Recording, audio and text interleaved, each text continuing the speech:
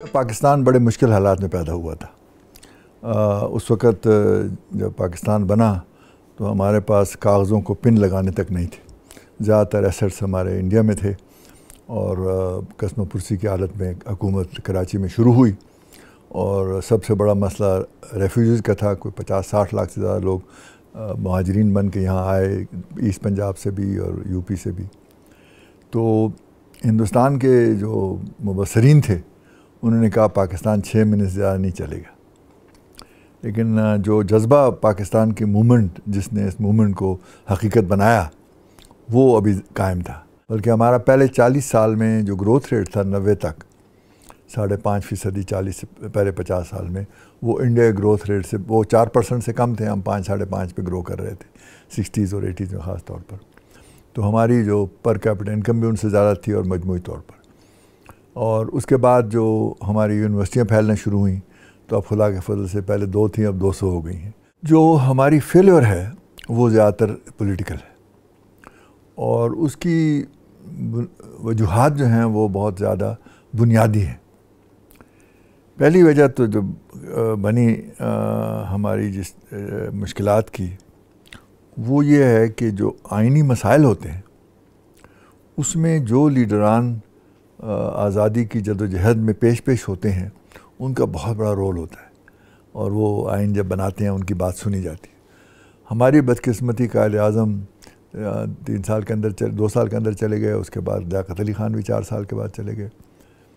तो जो बुनियादी मसाइल थे कि आइन हमारा कैसा हो, प्रेसिडेंशियल हो या पार्लियामेंट्री हो, हमारी प्रोविंशल अटानमी कितना हो, और हमने इस्लाम के नाम पे पाकिस्तान बनाया, उसका क्या मतलब है? तो ये बुनियादी मसाइल जो हैं ये हल नहीं। ये भी एक मेरा मेरा ख्याल है हमारी बुनियादी कमज़ोरी थी कि पाकिस्तान 47 में बनाया लेकिन पहला इलेक्शन तेईस साल के बाद उन्नीस सत्तर में किया जनरल इलेक्शन। क्योंकि उससे पहले 54 में एक इलेक्शन एक इलेक्शन हुआ वो भी कॉन्स्टिट्यूशन असम्बली को इनडायरेक्टली इलेक्ट करने के लिए हुआ हमने पहला जनरल इलेक्शन। हमें असल में आ, इंडिया के फियर ने इकट्ठा रखा था लेकिन पैंसठ की लड़ाई में ईस्ट पाकिस्तान को पता लग गया कि वो हम उनको डिफेंड नहीं कर सकते। तो उसके छः महीने के बाद सिक्स पॉइंट आए मुजीबर रहमान के और छः साल के बाद बांग्लादेश आ गया। तो ये भी हमारी जो सियासी कमज़ोरियाँ थी जिसकी वजह से ये नहीं बनी। मुझे यकीन है कि अगर मार्शल ना होता और मुस्लिम लीग ईस्ट पाकिस्तान में भी फ़ाल होती और वो चालीस पचास सीटें ले जाती तो ये मसला ना होता। तो जमहूरी निज़ाम जो है उसकी एक अपनी खूबी है कि वो लोगों को पार्टिसिपेशन का हिस्सा देती है। तो चूँकि हमारे यहाँ 58 में ही मार्शल आ गया चंद साल के बाद अभी तक हमारी बुनियादें नहीं सही हुई थी तो ये तो पहली फेलियर है। तो ये जो पॉलिटिकल प्रोसेस नहीं चला, जिससे वैक्यूम पैदा हुआ तो उसमें फ़ौज ने कहा, जी, हम, अब हमारी ज़िम्मेदारी है कि हम संभालें मुल्क को। और उसकी वजह से, चूँकि सियासी इंस्टीट्यूशन और सियासत नहीं आगे चली तो वही वो मसला फिर पैदा हुआ। तो ये एक विशेष सर्कल बन गया हमारे लिए, जो अभी तक चल रहा है मेरे ख्याल में। इसकी वजह से हम अपनी इकतसादी जो तरक्की का अमल है, वो भी पूरी तरह पूरा नहीं कर सके, क्योंकि हमारा पोटेंशियल छः सात परसेंट का है पूरे, और हम पिछले पंद्रह बीस साल से तीन चार परसेंट पर ग्रो कर रहे हैं।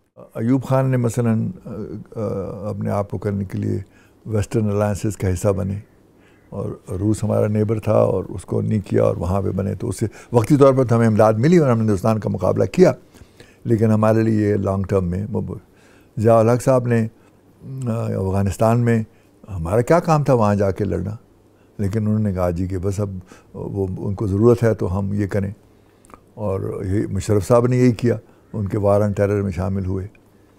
तो उसकी वजह से हमारा जो और अलग के बाद से तो ये जो हमें पिछले 25 साल में हमारा ज़ाया हुए, वो इसीलिए कि अफ़गानिस्तान का सारा जो वायलेंस थी वो यहाँ पेनिट्रेट की।